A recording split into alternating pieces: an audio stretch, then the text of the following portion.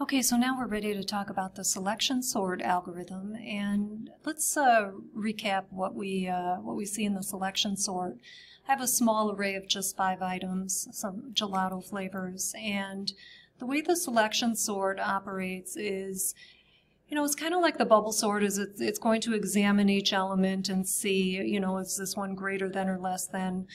Um, but with this one, the the search area becomes progressively smaller. It, it's also a nested looping, uh, nested loop algorithm like the bubble sort, but the the area of focus gets progressively smaller. So let's let's walk through this quickly. I'm gonna the outer loop. I'm gonna start at the top of the array, looking at the vanilla in this case. And then the inner loop is going to loop through all the rest of the items. So I would get four iterations of that inner loop on the first iteration of the outer loop. Okay, and what it'll do is as it's iterating through these four items, it's going to look for the lowest value. And in this case, it's going to be the brownie chunk.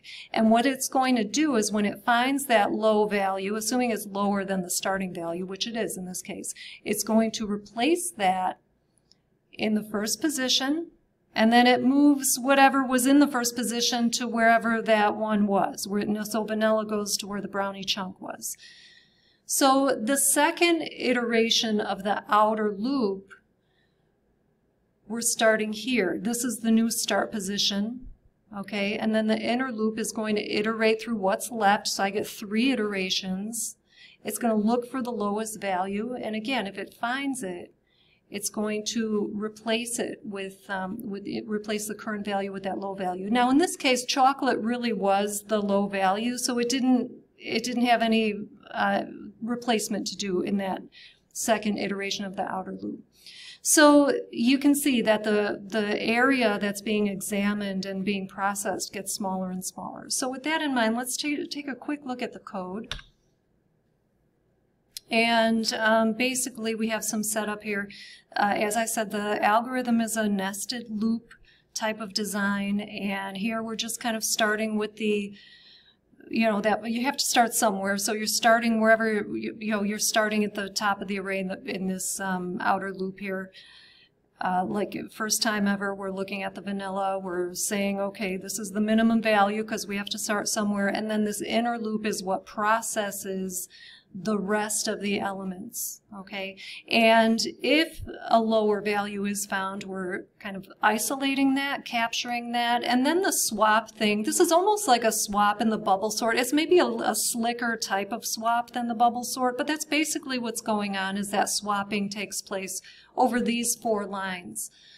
Uh, so anyway, um, you know, what I want you to, to take, take away from this is that this inner loop is go always going one fewer times with each iteration of that outer loop because you're only ever looping through what's left, okay?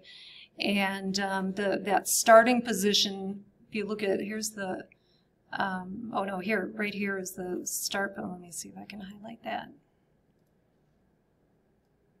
Okay, that inner loop, we're always moving that start position to, um, you know, uh, closer and closer to the bottom, one closer to the bottom with, with every iteration of the outer loop. Okay, so let's uh, keep talking about this here. Uh, I'm simplifying those two nested loops to the bare minimum here, just so we can focus on uh, kind of a mathematical representation of this algorithm. We have, um, let's see. So J is the counter of our outer loop and K is the counter of our inner loop. And, you know, let's assume that the array size is five, okay? So for the first iteration of the outer loop, we're going to get four iterations of the inner loop. You know, we talked about that already. The first iteration, first time through ever, I'm looking at vanilla. I'm going to loop through these four things and see if I can find something that's less than vanilla. Okay, that's the first time through. The second iteration of the outer loop, this is the starting position and I'm looping through the remaining three. So I get three iterations of the inner loop, okay? So the third iteration of the outer loop, which is not pictured here, but you know what's going to happen, I would loop through the remaining two. Okay, so I get two iterations of the inner loop, and then finally, last time through, notice how you don't go quite all the way out. It's just like the bubble sort. You don't go right up to the edge of the array because then you would walk off the edge. You always go one, one fewer, one less. So the, that's why we're only doing four iterations of this outer loop, even though the array is five, five elements.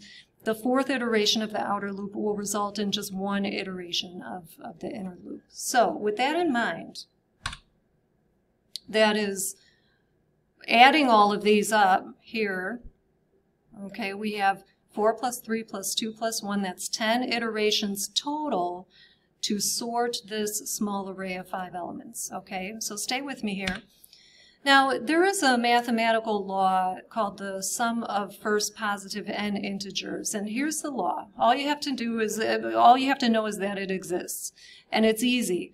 Uh, we have, you know, this series of numbers, the first positive numbers, going up to uh, n minus 1, however big the series is, um, is equal to this formula here, n minus 1 times n divided by 2.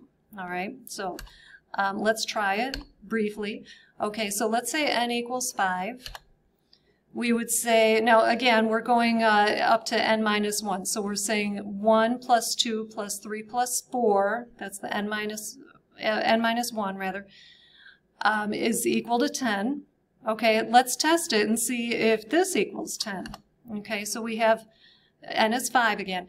Um, n minus 1 is 4 times n, which is 5, that's 20, divided by 2 equals 10. Okay, so we see that the law uh, is solid and it holds for those numbers. So getting back to our selection sort here, okay, recall that we had four iterations, three iterations, two iterations, one iteration for the total algorithm. Or if there's nothing stopping us from writing it like this in the reverse order, 1 plus 2 plus 3 plus 4 for a five element array, okay, where n equals 5. And this sounds just like the sum of first positive n integers, and it is, okay? So we can express the selection sort mathematically like this.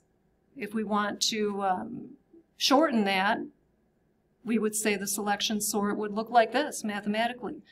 Uh, so here's the thing though, we're talking about big O, and I've already mentioned in previous videos that we don't care about things like this and this, okay? When you're talking about big O, everything is, you know, stripped down and simplified. So what we're left with is really n times n, n times n, or n squared, which you might recall from our last video is big O of n squared quadratic time, just like the bubble sort. So the selection sort is in big O of n squared, just like the bubble sort. And, um, you know, it's interesting because in your book, in chapter 9, the author, you know, he starts with a bubble sort and then he goes into the selection sort and says, well, the, the selection sort is an improvement over the bubble sort, not so many words, but he, he implies that the selection sort is much better than the bubble sort because you're not having to make all of these swaps. And to that I'll say, yes, it, it is. It is better than the bubble sort, but not by much because there's still, like if we look at it in the context of big O, they're still both in quadratic time. And they're when the input of the algorithm, um, in other words, the size of the array increases, the amount of time it, it takes to, uh, to run that algorithm is going to increase exponentially also with the selection sort as well as the bubble sort. So, um, you know, it, again, it, if you have to choose between one of the two, the selection sort is better than the bubble sort. But if you're dealing with more than a few dozen items in that array, then neither one of those is really the best choice for, for sorting the contents of those arrays. So there you have it.